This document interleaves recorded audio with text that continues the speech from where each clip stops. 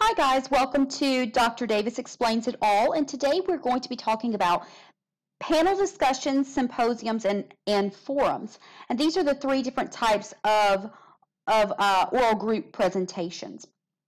So when working in groups, you will experience times in which you will have to undertake public speaking roles and responsibilities. It's just kind of a part of it as many people are a bit anxious or, or even just uninformed when it comes to public speaking, I thought I'd take the time to address the three main types of oral group presentations. And these three main types of oral group presentations are panel discussions, symposiums, and forums. All right, so panel discussions, or better yet, what is a panel discussion?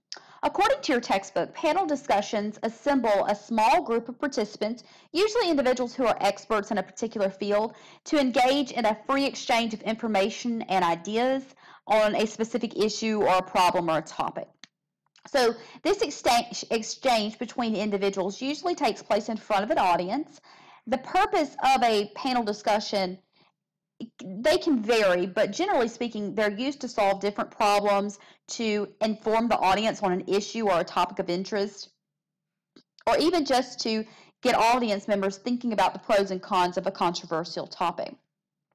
You'll see these a great deal in um, professional conferences that you might attend in your future careers. All right, so with symposiums, so let's let's discuss what symposiums are. A symposium is a relatively structured group presentation given to an audience. So instead of it being a discussion on a stage between individuals like we have here, as you can see, each of these individuals have a microphone and they kind of just wait their turn to talk, but they're all discussing at the same time.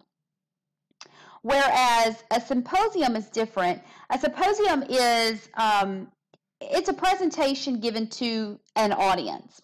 So it's not really a discussion on the stage, it's a presentation given to an audience. And these presentations are comprised of several individuals who present uninterrupted speeches with different or even contrasting viewpoints on, on the topic at hand, whatever the topic is. So you can see this individual right here at the podium speaking, and each one of these individuals will eventually make their way to the podium and speak on the topic as well. So um, symposiums are different than panel discussions in that speakers don't engage in a discussion with each other like we saw right here on the panel discussions. They um, rather they each speaker presents a brief speech, usually about four to six minutes in length, addressing a separate portion of an overall topic. So here it looks like it's the Latin Trade Symposium. So of course I'm sure each one is presenting some kind of great information on trade.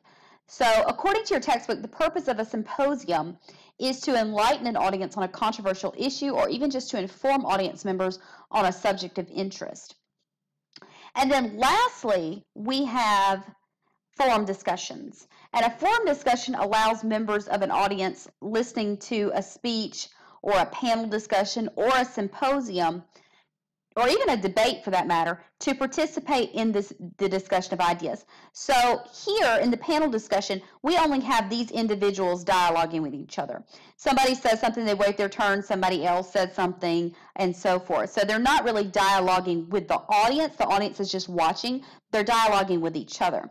On a symposium, we have someone at a podium that's giving a speech to the audience, and the audience isn't asking questions or anything like that.